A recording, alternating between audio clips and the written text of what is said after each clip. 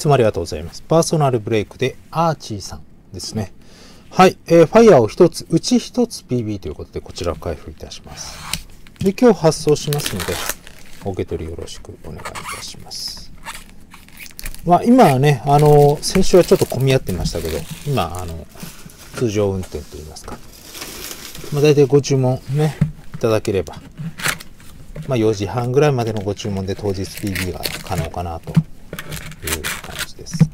まあ、あの、混み合う時は翌日の PB になってしまう場合も、あの、多々ありますので、動画の中で申し上げます。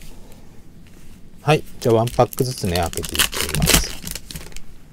ベースと RC を分けておきます。あと、インサートとパラレルですね。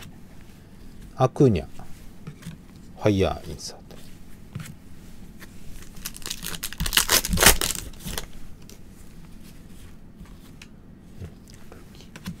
インサートはモリナですね。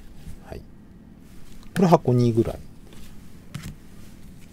大谷選手は大体、まあ、どのインサートにもいるような形式なんですけど、人数がいるので、よいしょ。えー、ボットさん。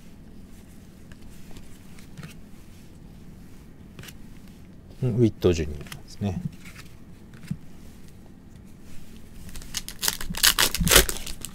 で、サインが2枚。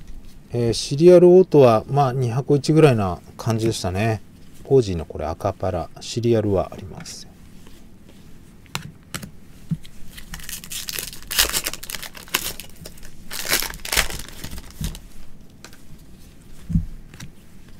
かぶれる。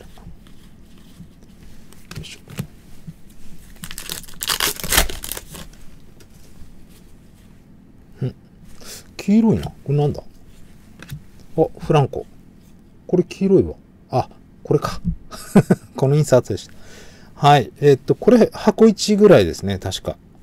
フランコでした。それとインサート。黄色いのなんだっていう。チームカラー。ね。ブルワーズだから黄色なんだな。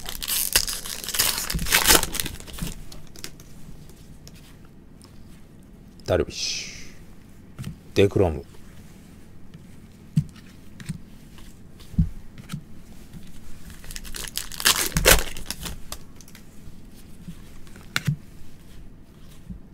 セミエの赤ですね。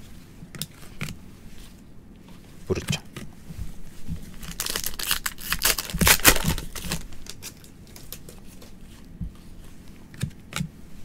パラレルオレンジかカブレラさん。オレンジかな？そうですね。299です。シリアルもまあ2枚ぐらい出てたイメージですね。あ、サインだ。はい。これ色ついてるかもしれないですね。これもオレンジかもしれない。オレンジオート。まあ、フリオとかもいるとこですけど。CR 出ればね。これ誰だろうあ、ストットさんだ。はい。ちょっとワールドシリーズね、ちょっと悔しい思いしたかなというところ。もう今頃毎日猛特訓、猛特訓してるんでしょ。うん。いいスイングして、打撃も良かったですからね。99シリです。ただやっぱりワールドシリーズ行くと、もう打てないところ徹底的に攻められるんで、ね。で、そこを打てるようになると、おお、打てんじゃねえか、みたいな。また攻め方変えようってなるんですけど、そこで打てないと、もうそこばっかこう、攻められちゃう。うん。2、3からあそこね、みたいな。追い込んだらあそこねってなっちゃうと、ですよね。そこを克服しないといけない。はい、シリアルオート来ました。まあ、あまり見ない方ですね。ストットさんは。はい。ベースカードの、まあ、いわゆるベースオートもあまり見ない方です。ボットさん、赤。大体店長も結構 PB やったので、ベースオートに、あ、はいはい、また会いましたっていう、ね。大体、ちょっとは分かってきたんですけど、大谷さん。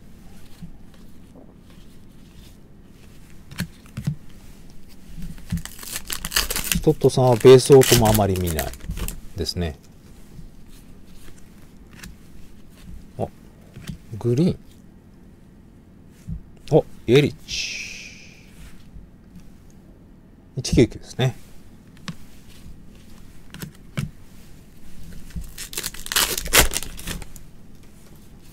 あ、光って、あ、インサートだ。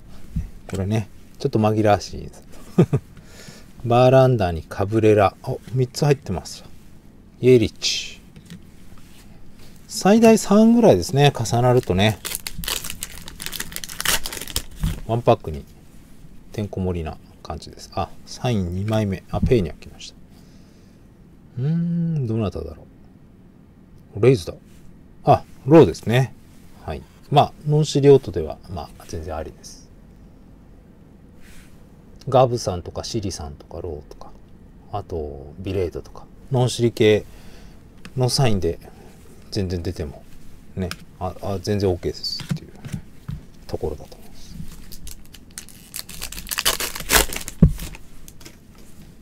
一郎さん。えー、スタントン。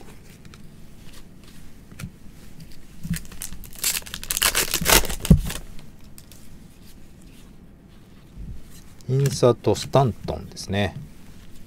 で、ペレスさん。はい。一生懸命プレイしてるのが表情出てますね。うん。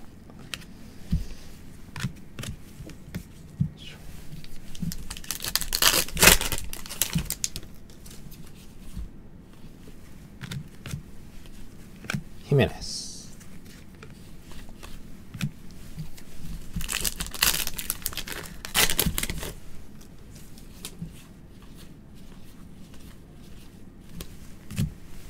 ラスト。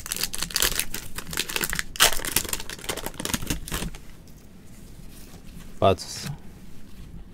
イエペスさん。うん。はい。終了ですね。えー、サインは2枚。ね。